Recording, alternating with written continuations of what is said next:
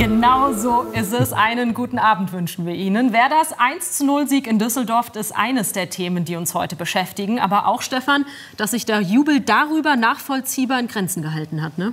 Tja, da gewinnen die Bremer nach vier Spielen endlich mal wieder. Und trotzdem werden die Sorgen nicht kleiner. Moisander gesperrt, Neuzugang Vogt liegt mit einer Gehirnerschütterung flach. Mehr dazu gleich im Sport. Und auch das sind weitere Themen der Sendung. Ob die Aue geit oder steit, hat das Eiswettkomitee in Hagen heute ganz genau unter die Lupe genommen. Ja, nicht nur in Bremen gibt es die Eiswette. Um ehrlich zu sein, hätten sich die Bremer bei dem Hagener Spektakel auch schon mal eher eine Scheibe abschneiden können. Denn hier sind Frauen von Beginn an erwünscht. Genau genommen seit 1972. Alljährlich wetten sie mit den Männern, ob die Aue nun fließt oder gefroren ist. Johanne Bischoff mit der Auflösung. Eine weitere beliebte Wette ist übrigens die auf Werders Klassenerhalt. Seit gestern sind die Chancen darauf wieder gestiegen, Stefan. Ne?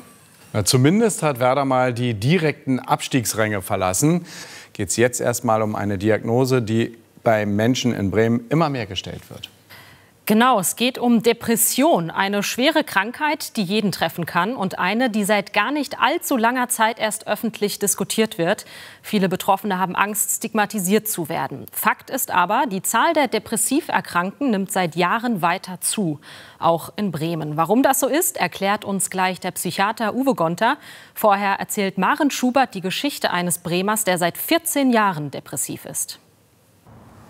Und ich begrüße jetzt Uwe Gonter im Studio. Sie sind Chefarzt und Psychiater am Ameos Klinikum in Bremen und Sie behandeln Depressionen. Wir kommen zu einem ganz anderen Thema. Der Dorfschmied war schon immer ein Allrounder unter den Schmieden. Und tatsächlich hat Freddy Radeke nicht schlecht gestaunt, als er mit seiner Ente vor der Werkstatt von Klaas Tomalla liegen geblieben ist. Der Dorfschmied aus Mainburg bei Schwanewede ist nämlich auch Kunstschmied, Meister, Metallbauer und Tischler.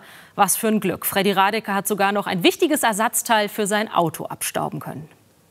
Und das ist schon ein kleiner Hinweis auf unsere Wochenserie. Vielleicht haben Sie sich ja auch schon mal gefragt, so wie ich, mit welchen Straßenbahnen wir in zehn Jahren in Bremen unterwegs sein werden. Unsere heutige Zeitreise ist natürlich thematisch an die neue Serie wieder mal angelehnt. Und ein echtes Schätzchen, wie ich finde. Ein Film aus dem Buten- und Binnenarchiv von 1971. Da gab es die Straßenbahn natürlich auch schon. Allerdings sah alles ganz anders aus, wie das Porträt einer Straßenbahnfahrerin zeigt. Sie war ihrer Zeit eine der ersten Frauen in dem Beruf. Und natürlich können die Frauen das genauso gut. Was für eine Frage, oder?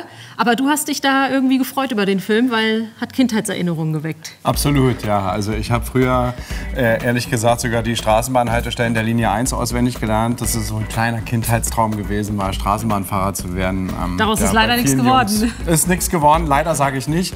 Aber ist zumindest nichts draus geworden. Aber trotzdem, ich fahre immer noch gerne Straßenbahn. Ja, das gebe ich schon gerne zu. Das werden wir in Bremen auch weiterhin noch können. Wir wünschen Ihnen jetzt noch einen schönen Sonntagabend Abend und einen guten Start in die neue Woche. Ja, tschüss. Bis morgen. Tschüss.